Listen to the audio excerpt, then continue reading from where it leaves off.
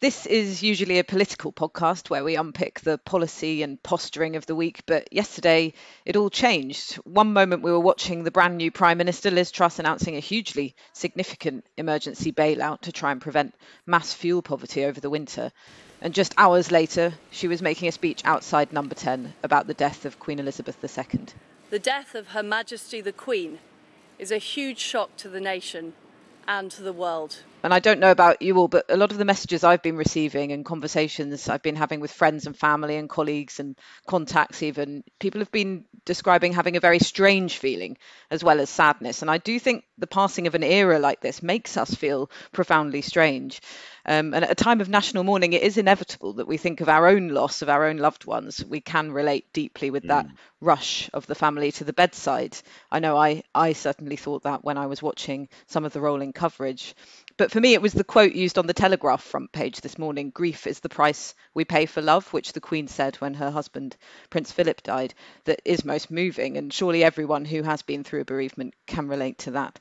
Um, and Andrew, you spoke very movingly on your LBC show just last night, just before the news broke yesterday evening, I think, of the Queen's personality and how such a big part of her reign was how she ran counter to our sort of modern culture of individualism to suppress her beliefs and who she really is. So I wonder if you could tell us a bit about that reflection, but also a bit about who she really was. Well, um, like all journalists who come on and talk about who the Queen really was, I don't know um, because I didn't spend time with her one to one or anything like that. I mean, I followed her a lot for three big documentaries I made, and I wrote a book about her and talked to many friends. But I don't want to pretend to be, you know, the, one of those sort of shadowy palace insiders because I ain't. Um, what has struck me, however, watching her, is that we all grow up in this culture where we are sort of told the greatest good is to be yourself as vividly and extremely in a sense as we can. It's a cult of individualism, and the best, the best life is to decide who you are inside and express it as fulsomely and eloquently as you can.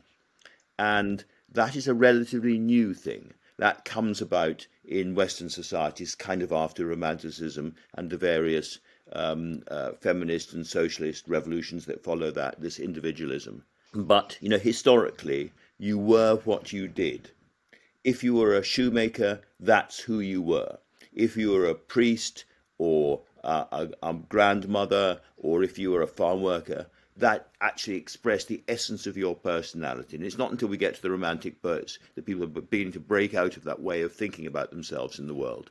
Very like, in, a, in, a, in many ways, the traditional Indian Hindu caste system. You are what you're born into. And if you look around the world, there are very, very few people who still think in the old way. You know, there may be some religious groups around the world, but very few people, particularly in the Western world, think that way. And I think the Queen was almost unique in that from a very early age, with a kind of very sober, uh, sort of girlish dedication, she dedicated herself to the role. She was absolutely convinced that uh, God had given her the role. There's no metaphor, there's no joke about that for her. That was that was how it was.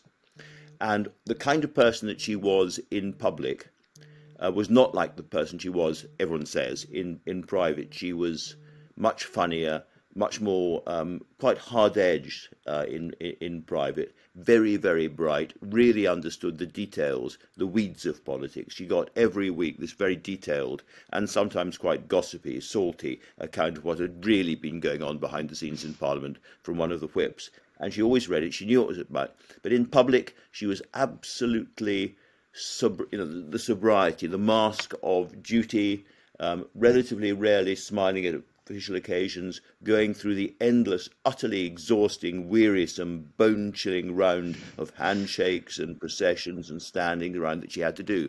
I think she subdued herself to the role. As far as she was concerned, she wasn't important. The role she was performing was. And I think that's almost unique and something we can all think about, if I put it that way gently. But you mentioned the emotional feeling. Yeah. And I should, as it were, confess that as nobody's idea of an ardent monarchist, I found myself when I was on LBC announcing the news yesterday that the Queen had died. I knew I was going to crack up, and I did. I choked up when I had to say the words, you know, we, we have to interrupt this program to say, to tell you that Her Majesty Queen Elizabeth II has died um, at the age of 96. And I thought to myself, why am I so emotional? Why can I not stop my, my, my voice cracking and some tears coming to my eyes? And Anoosh had it exactly right. It was because I was thinking of my own father's death two years ago. Um, and that sense, and, and, that's interesting, I think, because in a way it's a, it's a hackneyed, cliched phrase, but she was a kind of mother of the nation. And I think something that is worth talking about today is what it's been like for Britain to have a female head of state.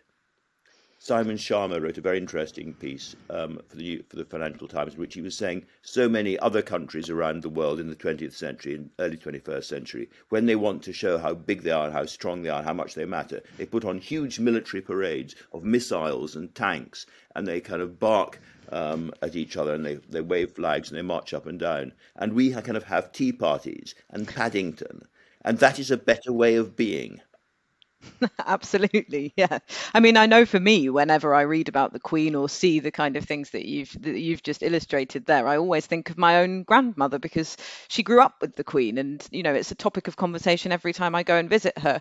Every time we spend Christmas together, we always watch the Queen's speech. So for me, she's more associated with my grandma, perhaps the grandmother of the nation. And Megan, I want to bring you in on this because you are our international editor, and you can give us a sense of how the world has reacted to this news, but also how they see the Queen, what role she plays in their lives. Yeah, so I think at the moment, probably what we're seeing around the world is kind of indistinguishable from what we're seeing in the UK. I mean, front pages are covered with um, wonderful portraits. Yeah, we're seeing flowers and tributes at embassies around the world, um, you know, from Tokyo to Washington. So that's really incredible. And I think worldwide, everyone's kind of respecting and, and recognizing the historical moment.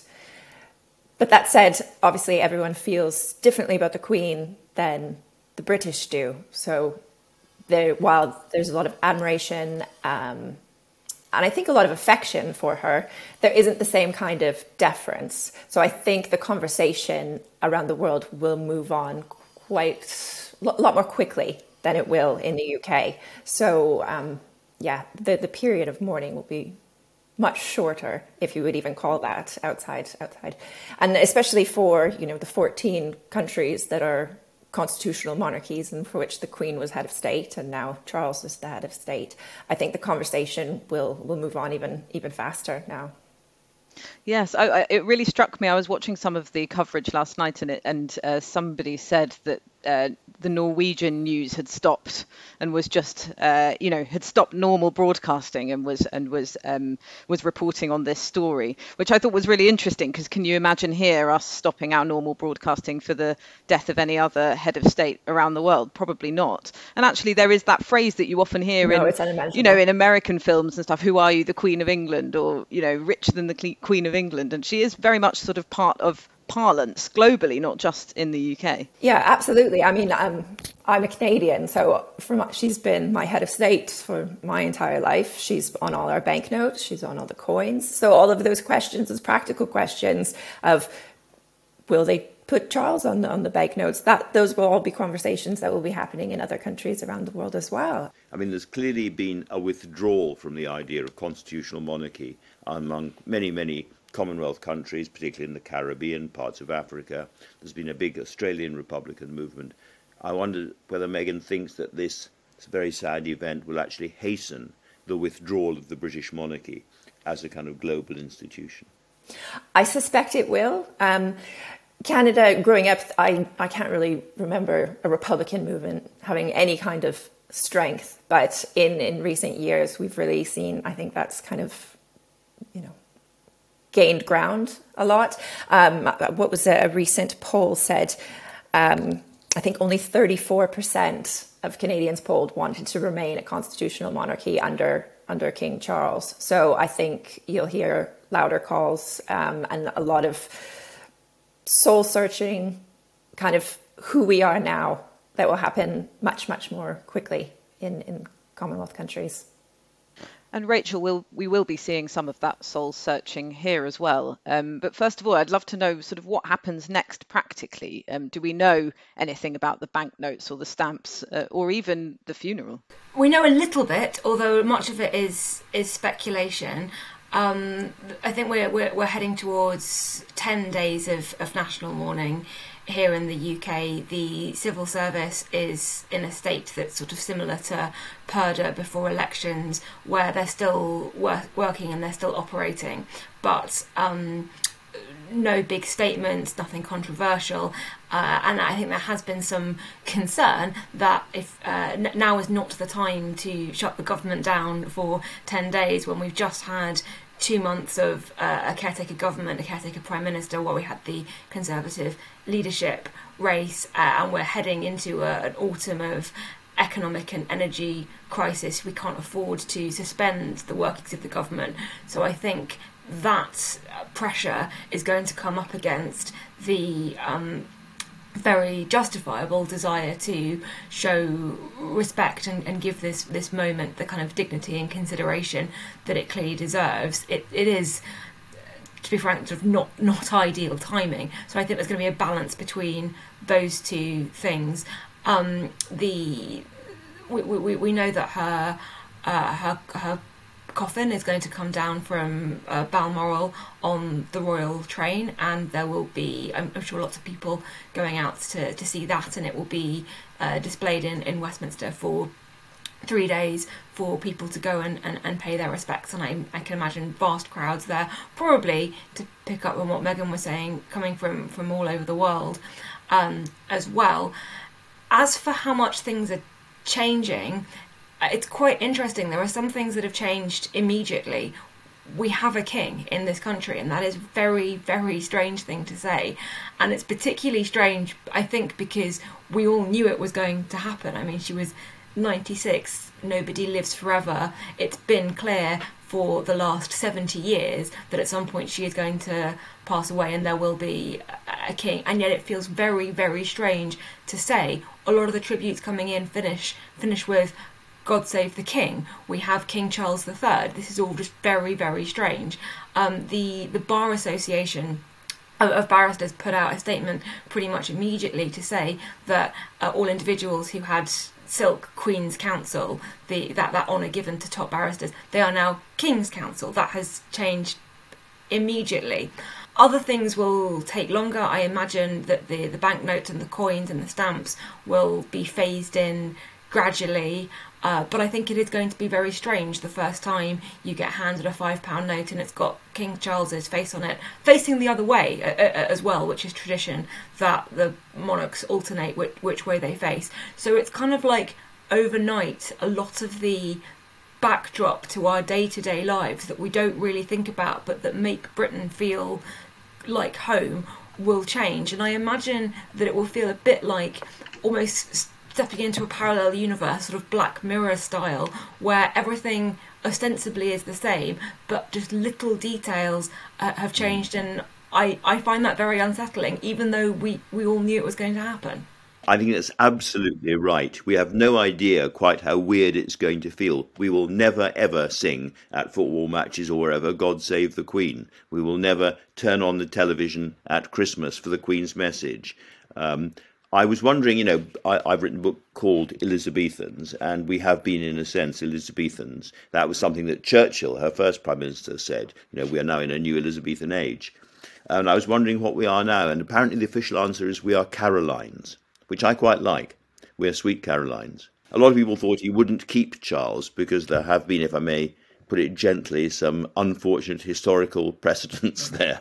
But he is, you know, he's not going to be another King Edward or another King George, which a lot of people thought was going to happen. That really struck me, that phrasing in your piece that you wrote actually for the Platinum Jubilee, Andrew, um, where you said about the second Elizabethan era coming to an end. And it sort of it was the first time I suddenly felt that I am living in history. You know, I always had one of those wooden rulers with all of the kings and queens on it, but I for some reason I never thought that there would have to be a, another notch on that ruler, if you see what I mean. And suddenly you're you're part of an era that will be in textbooks as the second Elizabethan era. In many ways, it's a very strange way of identifying historical periods. You know, mm. who happens to be a monarch at the time um, you know, as as compared with centuries or whatever it might be. But in a way, it's also quite a human thing because it is a human lifespan from that very hierarchical, almost overwhelmingly white, uh, imperialist, much more military, much more ordered um, sort of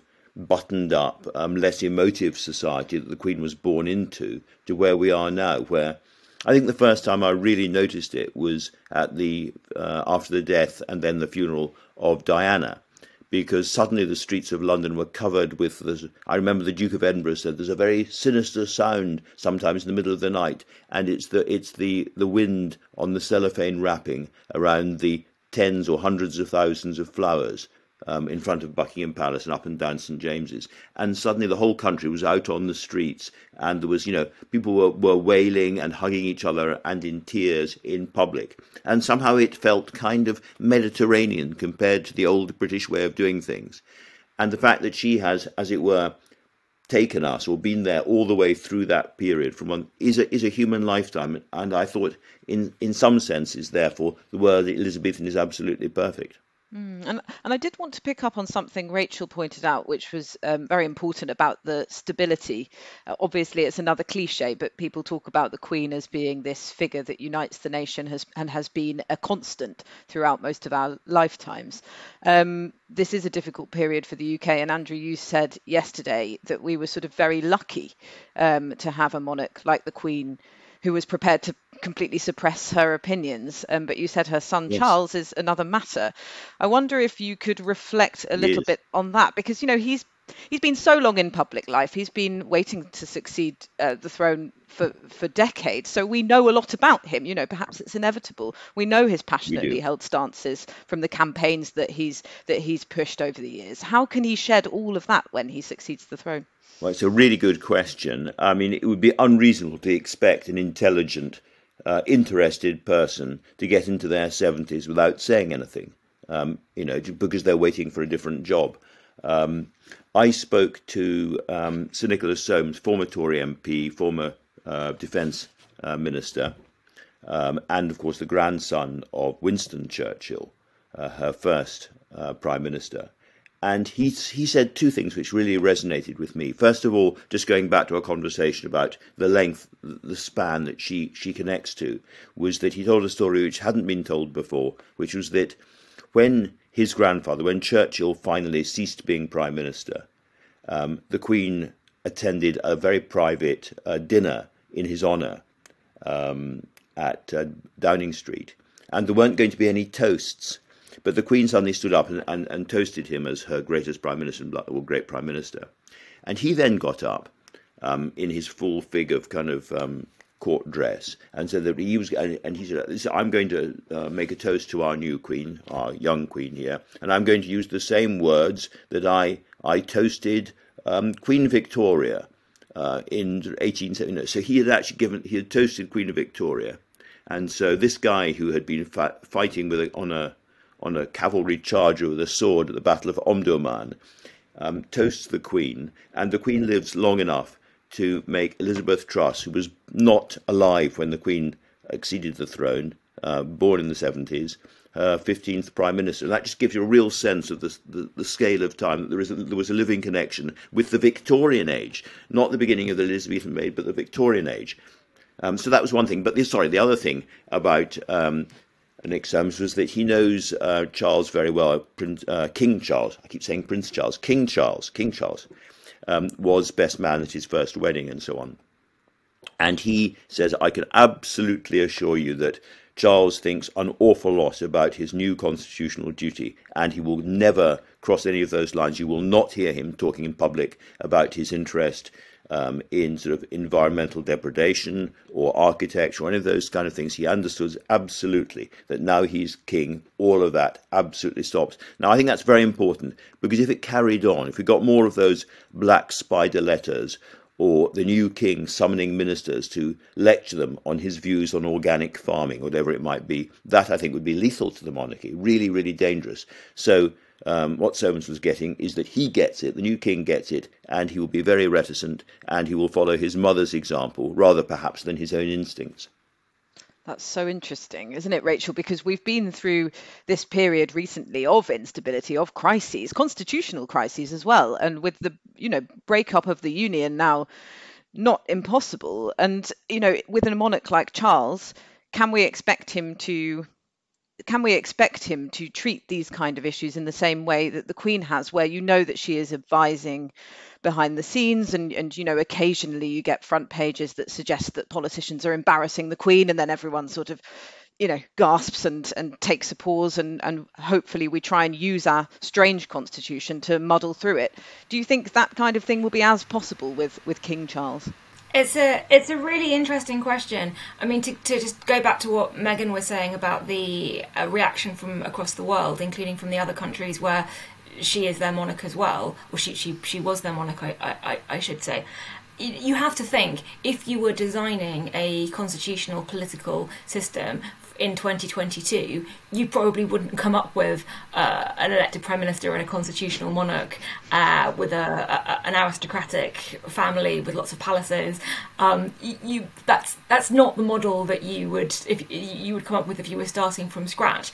And yet, what is sometimes quite difficult to explain, uh, say to Americans, for example, or people who come from different political systems, is that strangely in the UK it seems to really work. The I mean, the separation of head of government and head of state is, is not unique to, to monarchy at all. Other countries though have an elected head of state and strangely ours works having that continuity figure not having that role being uh, elected um, gives you that sense of stability, that sense that even in the midst of political turmoil, and there has been an awful lot of political turmoil recently, there are some things that are certain and that we can rely on. Now, it worked partly because as Andrew was saying she she lived and she reigned for so long and obviously that was quite unusual to ascend to the, the throne in your 20s and, and have a 70 year reign um, so you know part of that is is timing but another part of that the reason why it worked was because she took that role of uh, unelected chosen by God perhaps but not chosen by the people role very very seriously and was so careful that her uh, influence was about continuity and stability, not about making her own opinions felt or, or, interfering in, in politics. And there are a few instances, perhaps, over the course of that 70 year reign where perhaps the line was very slightly blurred, and she seems to have realised, or those around her realised very quickly, that they were on very dangerous ground. Now, Charles is obviously in a much harder position because he has he's an adult in his 70s and he has made statements and he has had opinions as is his right, you can't go, as, as Andrew said, for, for your entire life, never saying anything in public. Uh, but I think in order for the monarchy to work in the UK, let alone anywhere else, there has to be this understanding that it is a role completely separate from politics, and the value in it is in that uh, symbolic nature rather than having that kind of impact in, in, what's going on. And without that, if that starts to even look in doubt for a moment, I think the whole thing will, will fall apart very, very quickly. Uh, and I'm, I'm reassured by uh, a- a- Andrew's. Um, uh, comments on on uh, Soames saying that he, he he gets that because I do think that's very important. I don't think it's so much the case that constitutional monarchy works for Britain, rather that the, the version of female constitutional monarchy pursued by this particular queen has worked for Britain. I don't think we can draw big lessons about what's going ahead. Um, beyond that, it has worked with this particular woman doing the job in this particular, very restrained way. Um, I think we can draw no lessons for the future. It wasn't just the restraint, however. I mean, this she's very, very um, devout Christian, and at periods in our history where perhaps our public life, our government, has seemed a bit harsh, then by and large the royal family have leaned, I wouldn't say leftwards, but in a, in a, in a more kind of pro pro charitable, pro people at the bottom of the heap, pro people just getting on and helping one another direction away from the world of money and celebrity, rich though they are beyond belief. And I think therefore the way that she has done it has worked for us over the past um, number of decades. That doesn't mean it's going to work in the future. And you've described yourself as a queenist just... rather than a constitutional monarchist, I think, on that exactly. note. Yes. the Queen's version of constitutional monarchy has also worked for much of the Commonwealth and the other countries, international countries who who have her as head of state. And Andrew, you made the point that you know the Queen had made a, a, a her life's mission basically to suppress her who she was in in service of her role. So really, the world doesn't know who the Queen is as an individual, but the world feels they do know who who Prince now King Charles is um, because of the era that we live in with tabloids and social media and celebrity interviews and Oprah. So the rest of the world feels that they have an idea of who the rest of the royal family is. And it, I think it will be a real challenge. And I think the existential challenge now to, for King Charles to not just within the UK, but on a world stage to show that he is the king, he is the head of the monarchy, he is no longer an individual. And what I wanted to ask you, Megan, was that I know that um, the New Statesman International Desk has been discussing about how this could possibly be seen around the world as the end or a significant turning point in Britain's imperial age. And that's something that you've been talking about with your team. Could you say a bit about what you're planning to cover in terms of that? Yeah, so um, our writer at large, Jeremy Cliffe, has um, just filed a piece that will be up shortly um, on Elizabeth as the last living link with an old imperial Britain. And he makes a really good point is that even as she, you know, became the monarch, that era was already on the way out. And her long reign of 70 years has seen the place that the UK has taken on the world stage shrink you know, and there's, you know, for better or worse, that that is the reality. And we look at it's not just it's not just scandals or um, I mean scandals. I mean Windrush scandal thing, elements of that. The darker side of of the empire. It, it's also just the way politically Britain has has been seen on the world stage. We look at we look at Brexit. We look at um, you know the role the military plays. It just the the Britain of today, of the end of her reign, is just a starkly different place than it was when she became queen, and it's just. I mean, when we talk about the sense of history of this moment, it's just it's really hard to I think kind of wrap your mind around the changes that she has seen and that you know the UK has seen. Mm, yeah. And just lastly, I hope this isn't a self indulgent question, Andrew, but I mean, having been at the BBC for so long, you must have been drilled in all of this, and it must feel strange that the day has actually come. Yeah, um, it certainly has. And people been waiting for it and preparing for it. And as I think Rachel said, it's hardly a surprise. She was 96. you know, these things happen. And yet I think it took everyone by surprise when it actually did happen. There was a very strange moment. Um, uh, Anoosh, I know, uh, w- was witnessing at the time, when we were all watching this really, really important announcement of the massive, eye wateringly big package of support from the new government, the new Prime Minister Liz Truss, to get British families and businesses limping through this winter with unpayable energy bills. And it's a really important political, and it was a very, very interesting clash of ideas in the House of Commons that we were all gripped by. And then suddenly, in the middle of it, um, Nadhim Zahawi, the former Chancellor of the Exchequer, sitting on the government front bench, got a bit of paper and started to pass it around. There's a little bit of a flurry. And then the paper was passed to the opposition front bench. Keir Starmer was in the middle of explaining philosophically why the government was wrong and his deputy, Angela Rayner, who's very much to his left, was sitting just behind him, got this bit of paper, and her face just fell. We have this expression, ashen faced, and for the first time I began to understand what it might mean. And then she passed the paper to the Shadow Chancellor, Rachel Reeves, who was sitting next to her, and her face fell, and suddenly, within a few seconds, nobody in the chamber seemed to be listening to what this very, very important, one of the most important announcements we've yeah. had for years in the House of Commons, and everybody was ignoring it. And this kind of ripple went round, ripple of unease went round. MPs started to leave. And we were sitting around saying, well, could it be the Queen? Is it a terrorist attack? Has another politician died suddenly? What's gone on? But it was absolutely clear. That was the first moment that we realised and you know everything since then in Britain has been different. You know the uh, schools are going to carry on, flags are going to be flying at half mast, as Rachel was saying. But you know, businesses, most businesses will carry on. Our television's going to be different for quite a while, and every aspect of our life. But that's how it started. And one final interesting fact: Liz Truss got the news um, formally at 4:30 in Downing Street. In other words, an hour and a half before it was announced. So whatever ha- uh, the Queen's death clearly happened earlier than we realised, and mm-hmm. I wonder whether some of those very carefully modulated palace announcements about you know she's under medical supervision, she's comfortable, were the palace's way of saying, folks, it's just happening, it's happening right now. Mm. It was mm. but a day. Yes, that's how it felt, isn't it? Well, I will let you all get on with your days because it's a very busy news day, of course. Um, thank you so much for joining us it on is. the New Statesman podcast.